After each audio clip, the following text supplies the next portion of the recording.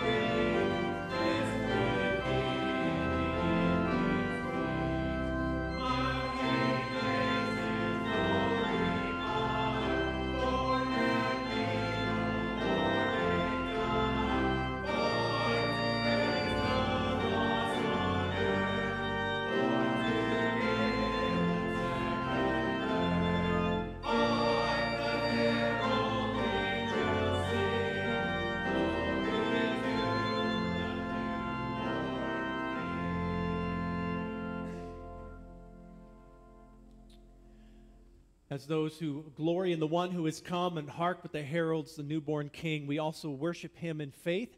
And uh, here at the first Sunday of the new year, it's good for us to profess this faith together. And let's do that as we use the words of the Apostles' Creed, these ancient words of faith. Together, the church today says, I believe in God the Father Almighty, creator of heaven and earth.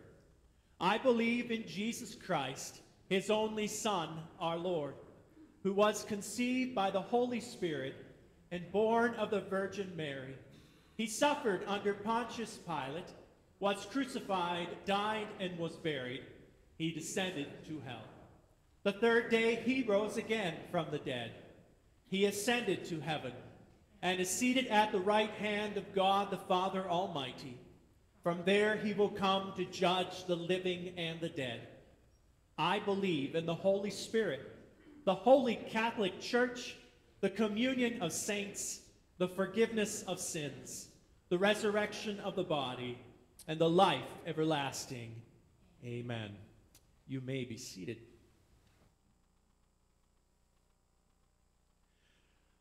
As we continue our worship here on this first Sunday of 21, we do so with a couple prayer requests to share with you this morning. One of them, uh, two of them you know already, and two are more recent. We want to pray for the family of Mel Woolley uh, this past Monday at uh, 95 and three quarters of a year of age. Uh, Mel Woolley completed his earthly journey and want to lift up the family and lift them up in prayer. A private uh, funeral service, uh, graveside service, is planned for tomorrow at Mount Ever-Rest. so let's lift up the Woolley family. On Friday afternoon, Ruth Boss, also a member of our church, Ruth Boss, uh, passed away uh, following a short illness with COVID 19, and uh, we want to lift up her family. Uh, Ruth never married, but she has many beautiful uh, nephews and nieces and dear friends, and we want to pray for them as well. Uh, funeral service, the arrangements are pending, but again, it will be a private family gathering. So I want to lift up the family of Ruth Boss. Continue to pray for Jim and Lisa Bosch in the passing of uh, Jim's stepfather, Tim Squires. Pray for Linda, Jim's mom, uh, in this time for comfort for them. You received uh, via email, if you received the prayer request that way, you know that Dean Troyer is at Bronson Hospital. Uh, he also tested positive for COVID 19, but the main uh, physical issue he's dealing with is some concerns over the health of his colon and he's uh, considering some options for care, but for now is um, comfortable at Bronson Hospital and want to lift him up in prayer. He does asks uh, he asks all of us for his prayers uh, as well. So these are some prayer requests, and of course it's the beginning of a new year, and we want to pray for God's uh, steadfast love and His faithfulness to guide us and lead us in the year to come. And we do that by asking His blessing in prayer, and let's do that as we turn to God in prayer this morning. Please join me. Father in heaven, on this uh, first Sunday of 2021, it is a new year, and uh, we lift up our eyes to you, O God. We lift our eyes to you, the creator of heaven and earth, and we know where does our help come from? Well, not from the hills, not from the mountains, not from Washington or Wall Street, not from anything but you, O God. You who have promised to walk with us, you who walked with us last year, who will walk with us again this year. We trust, O oh God, that by grace you have created us for a life of intimacy with you. In that same grace, you have raised us to newness of life in Jesus. And now, as your beloved children, may we set our hope, may we set our purpose to walk with you in the days to come as we think and speak and do life with Jesus in this new year. We confess, Father, too often we resist your work in our hearts. You're committed to destroying all kinds of hostilities and reconciling all kinds of people uh, in our own families, in our friendships, in our churches, and in our communities. Forgive us for when we choose resentment over reconciliation. Forgive us for when we choose to nurse our grudges instead of building bridges. And forgive us for when we choose to rehearse our hurts quicker than we remember the gospel that says, Forgive as we have been forgiven. So we pray for one another this morning. We pray for this community of faith and for our brothers and sisters around the world. We ask, O oh God, uh, for your comfort. Surround the family of Mel Woolley, Tim Squires, and Ruth Boss.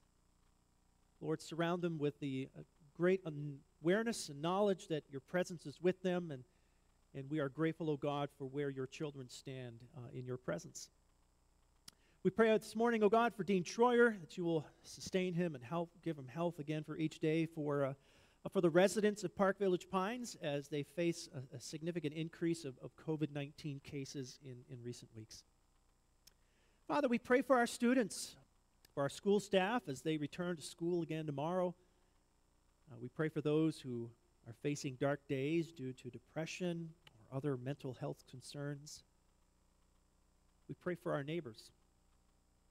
We pray for our neighbors here in this community, for our neighbors around the world, oh God. And a new year does not always feel new when it carries with it so much of the trouble and the pain of the last year. Father, we pray this morning for those who have not yet received Christ as Savior and Lord. For those here with us this morning, those who will put their you will put in their, our, us in their path, really, in this coming year. Uh, help us to uh, pray for the grace to do what you call us to do, to love those who are far from you, to love those who hurt us, to love those who, who drain us, to love those who may never acknowledge our kindness in return. God, in all things, help us to love deeply our children, our spouse, our neighbors, our strangers alike. We don't know what 2021 will hold. But we trust, O oh God, that you will stoke the flames of our compassion. Give us laser vision of Jesus, of the coming city of God, that we may live and love to your glory. May, may the hope that we have, which is in you, Lord Jesus, may it compel us, may it give us courage to, to live by faith, that we might love you and, and love our neighbor as fully as you have loved us and will love us for all eternity. As we bring our offering to you this morning, as we open our hearts to your word, may we reflect the work you've done in us, uh, that we might be generous people this year and help us to walk by faith.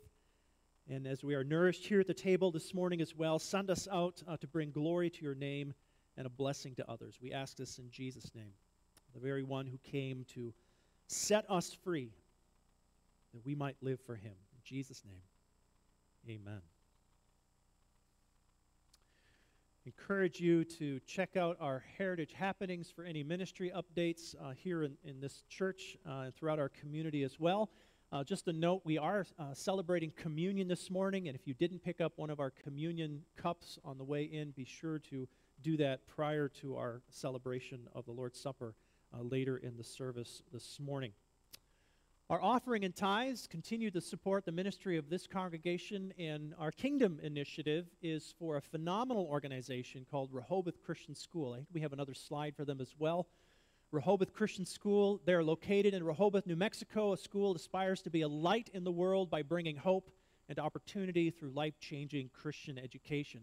We have supported Rehoboth Christian School for many, many years, and uh, they've been a strong uh, outreach and ministry and branch of uh, the Christian Reformed Church, a denomination to which we belong, and we're grateful uh, to support them. So, all of our loose change offering, and again, the offerings will be uh, accepted or received on the, at the doors on your way out. You'll find baskets uh, there on the chairs.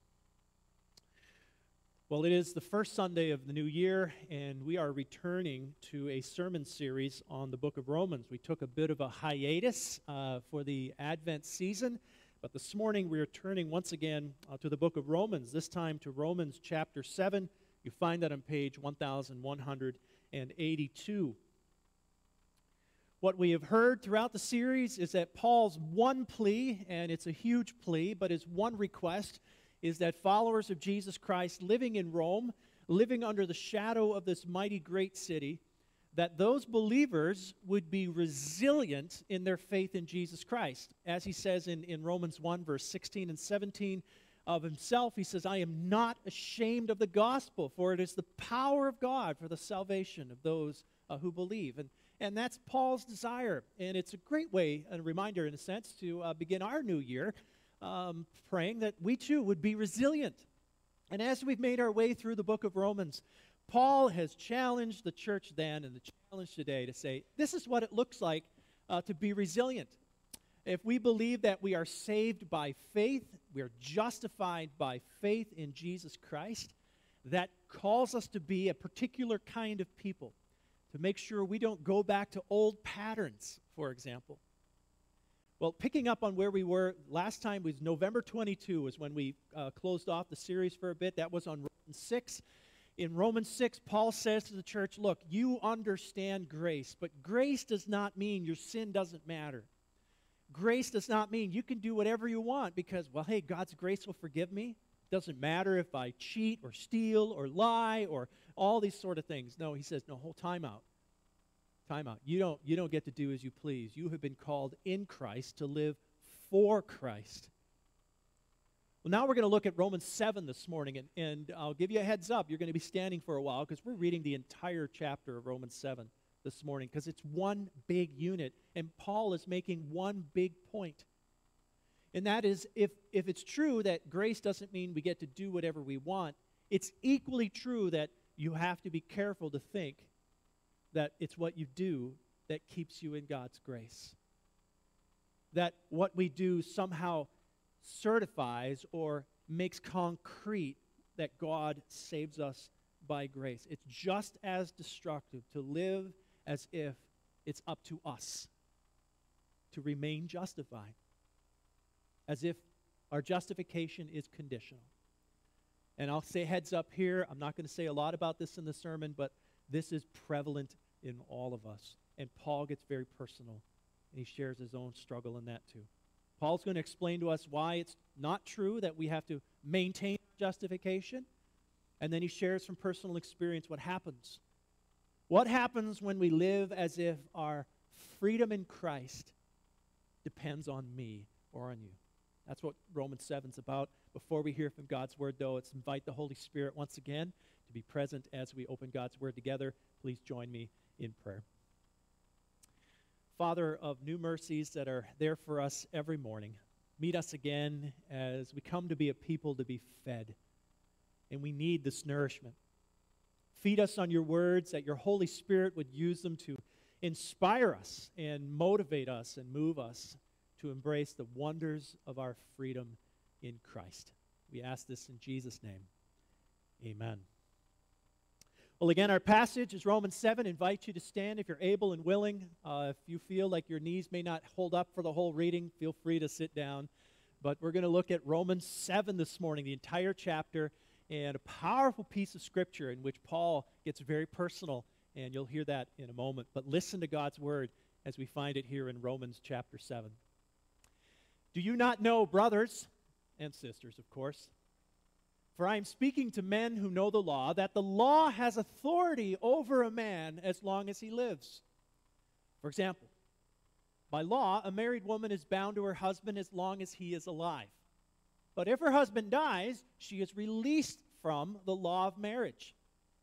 So then, if she marries another man while her husband is still alive, she's called an adulteress. But if her husband dies, she's released from that law, and she's not an adulteress, even though she marries another man. So, my brothers and sisters, you also died to the law through the body of Christ, that you might belong to another, to him who was raised from the dead, in order that we might bear fruit to God. So when we were controlled by the sinful nature, the sinful passions aroused by the law were at work in our bodies, so that we bore fruit for death. But now, by dying to what once bound us, we have been released from the law, so that we serve in the new way of the Spirit and not in the old way of the written code. What shall we say then? Is the law sin? Certainly not. Indeed, I would not have known what sin was except for the law. For I would not have known what coveting really was if the law had not said, Do not covet. But sin, seizing the opportunity afforded by the commandment, produced in me every kind of covetous desire. For apart from law, sin is dead. Once I was alive apart from law, but when the commandment came, sin sprang to life, and I died. I found that the very commandment that was intended to bring life actually brought death. For sin, seizing the opportunity afforded by the commandment, deceived me. And through the commandment, put me to death. So then, the law is holy, and the commandment is holy, righteous, and good. Did that which is good then become death to me? By no means. But in order that sin might be recognized as sin, it produced death in me through what was good, so that through the commandment, sin might become utterly sinful. We know that the law is spiritual, but I am unspiritual, sold as a slave to sin. I do not understand what I do. For what I want to do, I do not do, but what I hate, I do. And if I do what I do not want to do, I agree that the law is good. As it is, it is no longer I myself who do it, but it is sin living in me. I know that nothing good lives in me, that is, in my sinful nature. For I have the desire to do what is good, but I cannot carry it out. For what I do is not the good I want to do. No, the evil I do not want to do, this I keep on doing. Now, if I do what I do not want to do, it is no longer I who do it, but it is sin living in me that does it. So I find this law at work. When I want to do good, evil is right there with me. For in my inner being I delight in God's law, but I see another law at work in the members of my body, waging war against the law of my mind and making me a prisoner of the law of sin at work within my members. What a wretched man I am. Who will rescue me from this body of death? Thanks be to God through Jesus Christ our Lord. So then I myself in my mind am a slave to God's law, but in the sinful nature, slave to the law of sin. This is God's word for you this morning. You may be seated once again. Part of me wants to tell you that if you are thoroughly confused by what you just heard, um, you are in good company. It's, it's a bit of a frightening thing approaching Scripture each week as a pastor to preach on it, but it's even more of a, a frightening reality when, as I'm paging through several commentaries, and, and I even talked with a colleague of mine this past week, and I say, Yeah, I'm, I'm preaching on Romans 7, and he said, Oh. And when the, when the commentaries say this is probably one of the most difficult passages because you could write 10 books on it, but you get to do it in 20 minutes. We're going to look at Romans 7 this morning, and here's the question that is going to frame what we're going to do. What does a believer's freedom in Christ look like? What does a believer's freedom in Christ look like? Paul reminds us back just in Romans 6, what I mentioned at the start. Your freedom in Christ does not mean you get to live any way you like. Why does God keep telling us we shouldn't lie and shouldn't steal and, and that marriage is between a man and a woman and, and that you should honor authority? And why does He keep doing that?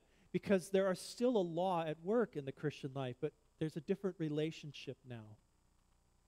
The problem with Romans 6, or the problem that Paul raises in Romans 6, is, is you have to understand that when, when you're free in Christ, that doesn't mean you get to do what you want. You are now um, you are now an instrument of righteousness. That's a phrase that Paul uses in Romans 6. You are now an instrument of righteousness. That's how your heart, your feet, your lips, all of it should move toward.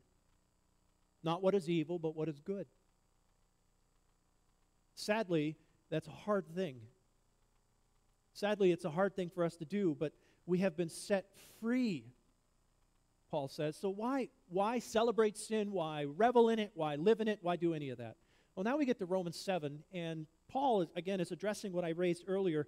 There's sort of an, an equally dangerous posture when it comes to our freedom in Christ. And it's the idea that I raised earlier that our justified status, and Paul has made this clear throughout this book, our status is in Christ. We're justified by Him.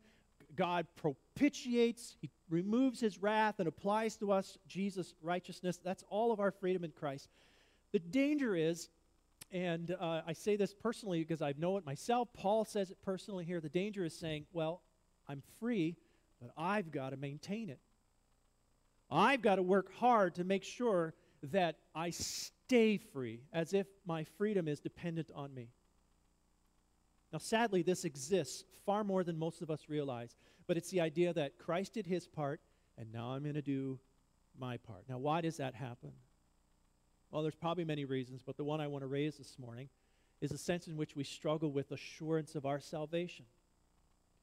That's not an uncommon question amongst the lives of believers. How can I be sure that I'm sure that I'm sure? How can I know that I know that I know? And the challenge is that we want something tangible. And what isn't more tangible than a list? What isn't a better way to keep track of my assurance than to say, well, here's my list of things that I've done, and I'm going to check them off, and this way I can know, I can be sure that I'm still free in Christ. Have I done enough good? Have I loved my neighbor enough? Have I served others enough? Have I confessed and repented of my sins sufficiently? Now, please understand, it's not bad to be self examining yourself. Scripture calls us repeatedly to be people of, of confession. The danger of, that Paul raises here is the danger of self determined assurance versus Christ determined assurance. And self determined assurance is fraught with so much danger, and chief among them is what Paul says here in Romans 7. If we're determined to maintain our justification, we are no longer living under grace, we are now living under law, and we're standing on the wrong ground. In effect, I have to keep the law. So the law now has a certain function. And by the law, I mean more than God's Ten Commandments, though not less than it, but all of God's will. If I'm living under law and no longer under grace, the law is functioning in a different way in my life than it ought to be. Now, here's another side of it, by the way. It's not only bad mojo to do this, but you and I now evaluate others on the same basis. So we'll say, well, that person only went to church once in the last month. Or that person didn't, uh, didn't help their neighbor last week. Or you see how we do this judgment based righteousness. And that's just as dangerous for them as it is for our soul. So Paul is saying, look, self determined assurance, bad idea.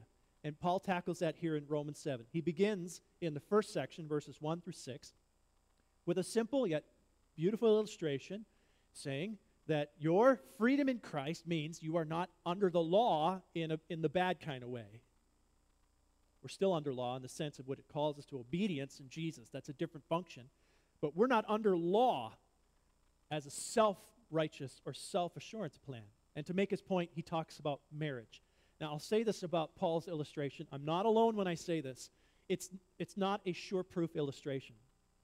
It's a good illustration. It's not a great illustration. Let's not read too much into the illustration, but it does make its one point. And the one point is this In the same way that death ends a marriage, right? Till death do we part, right? End. Death ends the permanence of marriage. Paul says that's exactly what happens in the Christian life. When, when you died to sin and came alive to Christ, which is your conversion, which is the uh, born again reality that John, Jesus talks about in, in John chapter 3. When, when you move from under law to under grace, the self assurance strategy which only bears the fruit of death. Paul talks about that here. That plan, it's gone. You don't have to live there anymore. You died to that. And the good news of the gospel, Paul says, you've been released from the self assurance plan. I know it's hard because we like tangible things and we like these lists to say, well, you know, I did A, B, C, D, and E, or 1, 2, 3, 4, 5. I got to feel better than somebody who didn't. And Paul says, don't go there you do not obey, you don't do the things, and if you, if we all struggle with this, by the way, you don't do things in order to secure yourself. You do them because of gratitude. The third part of the Heidelberg Catechism, all about this. Guilt, grace, gratitude, right? It's all about, I'm so thankful for grace that I'm going now keep God's law. That's the second function. That's a different function of the law in the Christian life.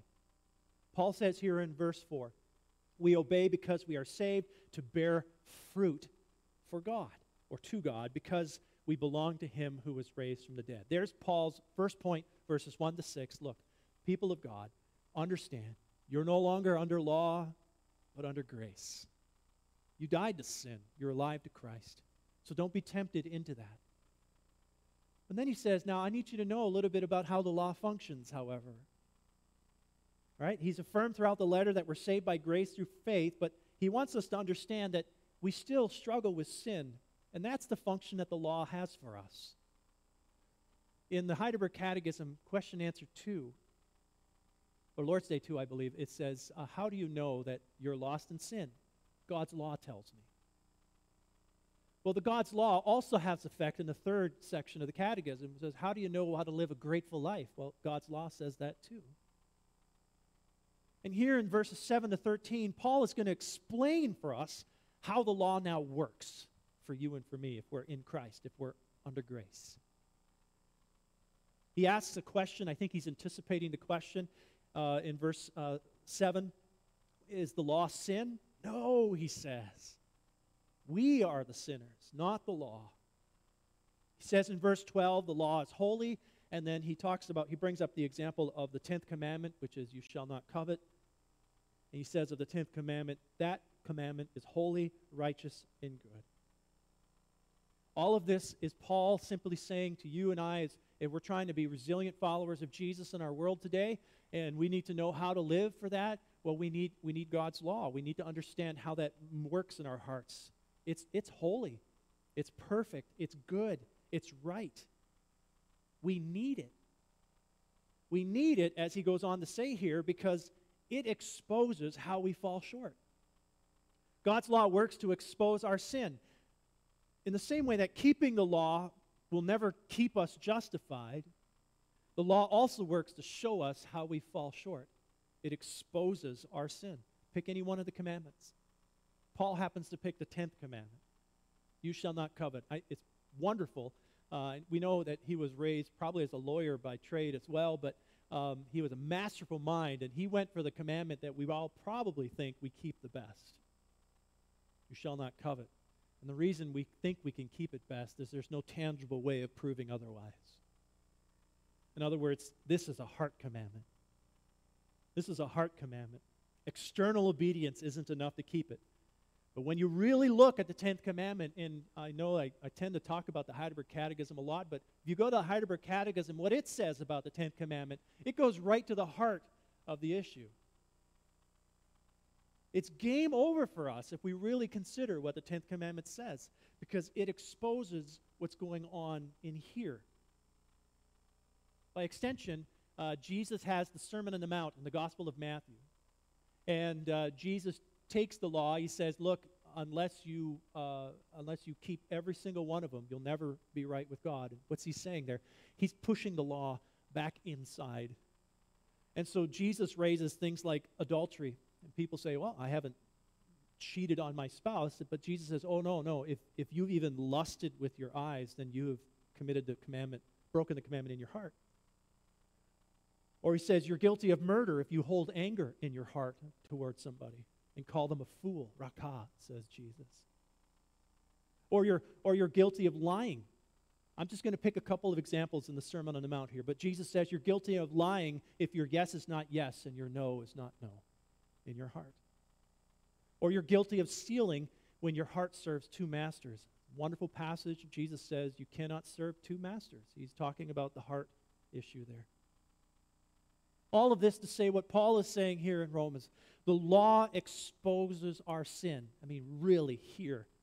It activates in us. It's like, um, uh, it's like an x ray machine, some have said, right? It, it reveals, it exposes, it, it activates in us an awareness of our sin, as Paul says, that we might see that every sin is utterly sinful, every one of them. It exposes how determined we are to break God's law. Read a lot of stories this week, but I, it reminded me of um, the time I was, when I was a kid. I remember this clearly. We went on a, a, a school trip to Stanley Park, which is one of the big parks uh, in uh, uh, Vancouver, and uh, they had painted the benches in the park. And I think you already know where this is going, right? Big sign on it said, "Do not touch." Anybody want to guess what I did? What is that, right? The law says do it, and what did I do? right? Why does that happen? Because it, it exposes something in me. And that's what Paul is saying here in this passage. Look, you want to touch the sign, it's something that's just been painted wet. Why? Because you've got this sinful nature, and the law reveals it. The law is not dead to you, even though you've died to it. We need the law, as Paul says, because it's holy and it's good and it's right. And we need to hear God's will because it exposes how we fall short. We can't, we'll never be resilient as followers of Jesus until we understand the way the law works. So that we'll get to where Paul does at the end of this passage. But he doesn't get there quite yet. He's now talked about it, explaining how the law works, and now he gets very personal in verses 14 to 25. Paul tells you his story. If you read this passage over again, verses 14 to 25, I, I want you to read it just looking at it through the heart of Paul. Paul, who says, Look what this, the law does in my life. Paul, who we hold him up, we esteem him as one of the greatest missionaries, greatest theologians, greatest follower of Jesus. And here he is, God honest about it. He says, The law is spiritual, I am not. And I have this conflict in me. Someone put it well like this The law is holy, but it cannot make us holy. The law is just, but it can never justify us. The law is good, but it cannot make us good. And that, that's what Paul is saying here. He says, The law is holy, it's for my good. But the things I know I want to do, I don't do. And the things I know I shouldn't do, and he says, I know I shouldn't do, I, I do them. It's this terrible war going on inside him. And people of God, this is, this is my story. This is your story. It's me in middle school putting my finger on a wet paint. We're all there. Think about the Ten Commandments. We'll limit ourselves just for a moment for that. We've lied this week. We've coveted this week. Even though we know we shouldn't have done any of it. That's Paul here in this passage. I know the good I'm supposed to do, I'm not doing it. I know the law is good for me, but I'm struggling with it. I'm, I, I have the desire to do the good thing, but I end up doing the wrong thing. And, and I long to please God, but I can't do it, at least not on my own strength. That's, that's this rather confusing passage in a nutshell. Paul's just saying, This war is at war in me. The law reveals my sin. And Paul is honest and he shows how our sinful nature works. Again, we know what we ought to do, but we don't do it. And the wrong we shouldn't do, that's what we end up doing. And that is what leads Paul to a beautiful moment in verse 24. What a wretched man I am. Who will rescue me from this body of death? Let's just stop there for a minute. That is the prayer of a heart that is honest with God about how hard it can be to live in our world today under so much intense pressure to conform to it, to do things the way the world does it, to live in ways the world approves, celebrates, and exalts. This is a prayer, a heartfelt prayer of you and me when we're depending on the Holy Spirit. God, help me. I cannot do it on my own. And the great answer is the one Paul gives. Thanks be to God how am I going to do it? It's going to be through Jesus. Through Jesus Christ, our Lord. And that's a big deal. Thanks be to God, says Paul. My life is under when my life was under the law, I didn't have any freedom. My life is now under grace. I have freedom, but I'm wrestling with it. But my security, right? This is not the self-determined assurance plan. My assurance, Paul says, is Christ. Christ. Yes, I struggle with my sinful nature. I'll never take hold of the way life should be in this world. I know that. But that's why I also struggle with the assurance of my salvation some days. That's Paul. That's me. That's you. This is why we need Christ. It's the beginning of a new year. It's first Sunday. We're three days in. Some of us are thinking, hey, it's not been so bad. Just you wait and see. Didn't last year teach you us anything? Right? But this is why we need Christ, says Paul. Our, our justification secured in Jesus, our sanctification led by Jesus. As we love to sing in an old hymn, and if we sang more songs in our morning service, we would have sung this one. It was uh, Matt Maher uh, repurposed it, I want to say, an old hymn, and these are the words, right? I need thee. Oh, I need thee. Every hour I need thee. My one defense, this is the new updated version, my one defense, my righteousness, oh God, how I need you. I would love, I'll say this personally, I would love if that was the prayer we prayed more than anything this coming year. I believe great revival will come if we make that our prayer. God, I need you today. I can't do this on my own strength. I can't. I need you. Every hour I need you. Forgive me, Father, for thinking I can make an hour without you, even a minute. I need you every hour. You are my one defense. You are my righteousness. That's the prayer of a heart seeking Christ. It never stops saying the words, Jesus, I need you. I need you because my sinful nature confirms that I am not holy. I cannot be holy as you are holy, but that's the standard you call me to, to be holy as you are holy. Who can help me? Thanks be to God, there's Jesus. My only hope is in you.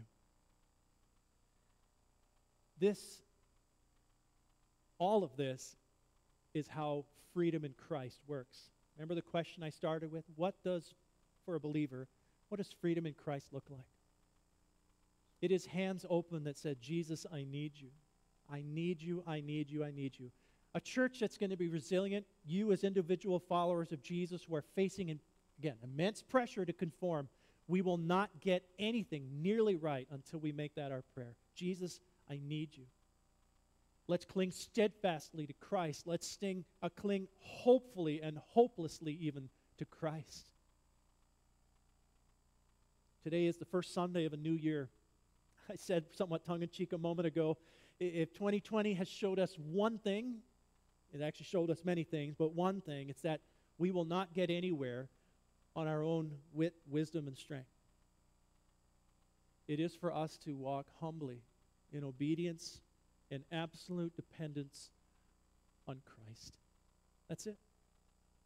I'm not going to give you a 12 step plan to success in 19, uh, 2021. I can't do that. I won't do it. There's no five step plan to help having a better family, a stronger marriage, or a greater spiritual life. It's just one thing depend on Christ. All because our assurance comes not from what my hands can do or the list that I can check off.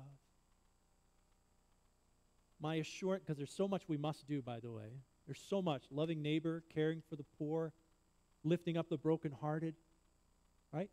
praying for our enemy. All, there's a lot of things we should do. But we are only going to get the strength to do it when we're relying on the one who is our strength from Christ. As we journey through grief, maybe a loss of a job, breaking of a marriage, a wandering of a child, an economy that might tank, politics, which you know I rarely bring that up here, but that's a little testy. How are we going to navigate it? people of God, it is only going to be as we depend on Christ. Not what our hands can do, but from the hands of Christ that have done so much. That were nailed to a cross. And now hold your hands and hold you too. It's in His name that Paul would say, let's bear the fruit that belongs to Christ as we serve in the new way of the Spirit. Let's do that. Let's serve in a new way of the Spirit as we depend hour by hour. A study came out back in the late fall already, but was brought back again just a few weeks ago. Uh, of course, through the internet, you can track a lot of what people are searching for. And in 2020, there was a lot of searching of Scripture. In fact, astronomical numbers. And this passage from Isaiah 40, verse, 41, verse 10, was the number one Scripture verse that was found or searched out. And I think if you read it, you kind of get it, right? So do not fear, God says to the people of Isaiah. For I am with you. Do not be dismayed, for I am your God. I will strengthen you and help you. I will uphold you with my righteous right hand. Isaiah 41, verse 10. Mark that one in your Bible. I know you don't, many of you don't have your personal Bible here. I wish you did. You'd grab a highlighter and you. Isaiah 41, verse 10. That's Paul in Romans 7. What a wretched person I am. Who will rescue me? It is Christ. It is Christ who will rescue me. And so then, therefore, depend on Him hour by hour, moment by moment. Run the race of being faithful to the one who has been and will be faithful, no matter what comes in 2021. Struggle is real, but greater is the one who paid our debt. He, as we will eat in a moment, He is our blessed assurance. In Him may we strive daily to walk in our freedom under grace, that the world can know that we are bought with the precious blood of Christ. And as we conclude our service this morning, here, here in the death of Christ, I stand. Let's pray together.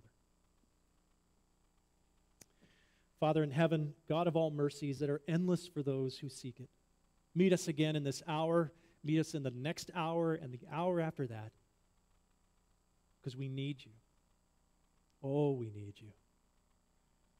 Teach us, precious Savior, what it means to walk with you in the year to come depending not on our devices, not on our wit, our wisdom, our strength, because that is nothing. Depending wholly and only on you, Jesus. Remind us again that we are a people under grace.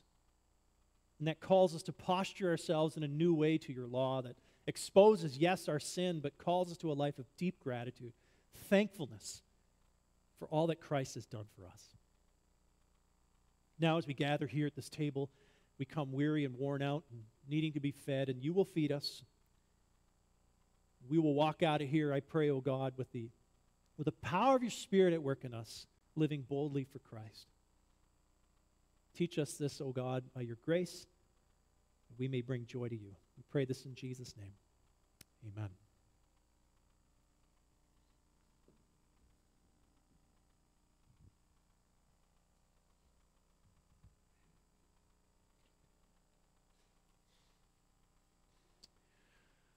People of God, we live in a world that tempts us to fall in love with something new every day. This world that calls us and tempts us to conform to things that are not of Christ. But our hearts belong. They belong to Christ, and they live best in his body. Nowhere do we see that more vividly than when we gather around the communion table. Here we remember the price that Jesus paid on his in his body and through his blood to make us his own.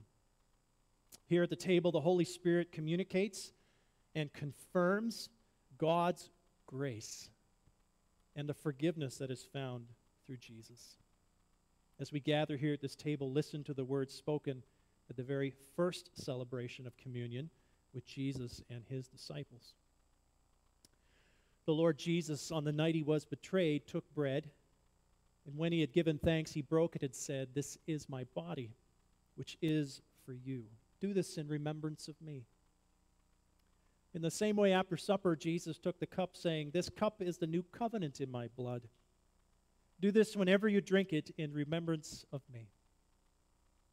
Paul would later write in 1 Corinthians 11, verse 26 Whenever you eat this bread and drink this cup, you proclaim the Lord's death until he comes.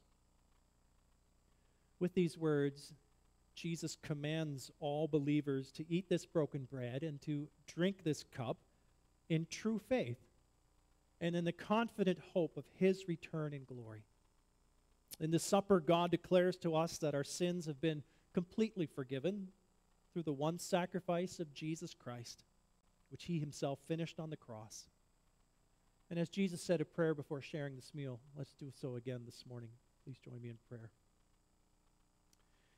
With joy, we praise you, gracious God, for you have created heaven and earth. You have made us in your image.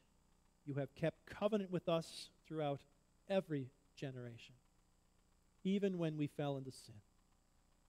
We give you thanks for Jesus Christ, who by his life, death, and resurrection has opened the way for us to everlasting life and also to a life of joyful obedience.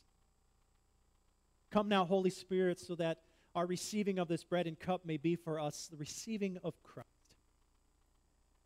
Remind us of the breadth of your church. Remind us of the joy that it brings you when your people gather together in praise and service to you. And now, joining our voices with all of Christ's church, we pray all of this in the name of Jesus, who taught us to pray, saying together, Our Father in heaven, hallowed be your name. Your kingdom come, your will be done, on earth as it is in heaven. Give us today our daily bread, and forgive us our debts, as we also have forgiven our debtors. And lead us not into temptation, but deliver us from the evil one. For yours is the kingdom, and the power, and the glory forever. Amen. To you, Jesus says, Come. Come, all you who are truly sorry for your sins, who believe in the Lord Jesus as your Savior, who have confessed his name and desire to live in obedience to him. Come eagerly and joyfully with assurance of faith. For Christ, our risen Lord, invites you as guests to fellowship with him at this table. The bread which we break is a sharing in the body of Christ. Go ahead and peel back the first layer of uh, your communion cup this morning, and then join me in this liturgy. The body of Christ given for you. Thanks be to God.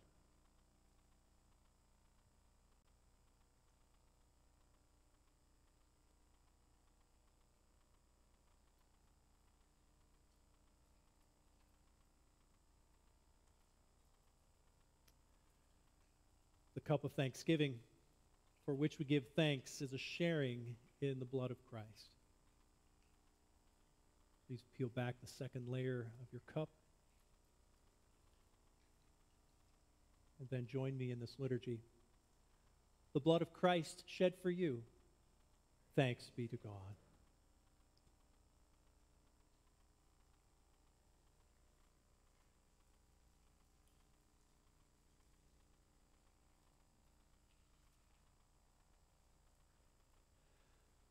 Please join me in prayer once again.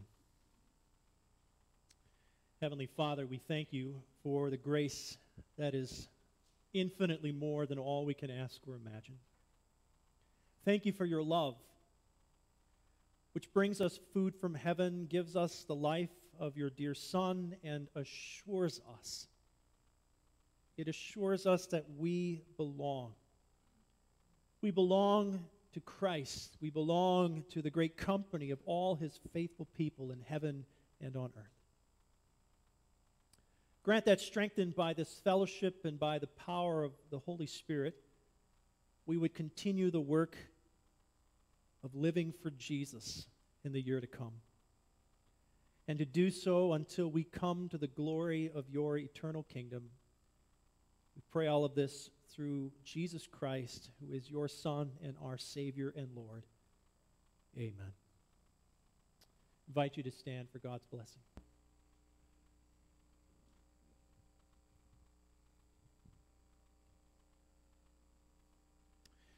A new year is here. We do not know what the year will hold. We hold this to be true. We have a blessed assurance Jesus is mine.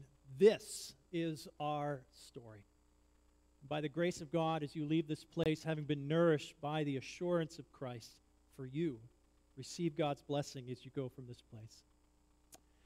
To him who has loved us and has freed us from our sins by his blood, and has made us to be a kingdom and priest to serve his God and Father, to him be glory and power forever and ever. Together, God's people say, Amen.